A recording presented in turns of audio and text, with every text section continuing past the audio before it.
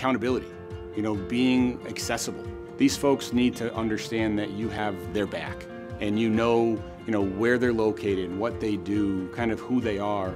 You know, as a mutual bank versus a stock bank, we feel a direct correlation, so to speak, with with our with our customers so we can better relate with them. You know, I think the team in total probably has over 200 combined years of lending experience. It makes us sound a little bit old, but um, you know, we bring a lot of knowledge and experience across a diverse um, group of industries and regions. There's no better feeling than working with a customer, having them really understand the value that we add as, as an advisor and be able to help them put together a strategy, a plan going forward and execute it successfully.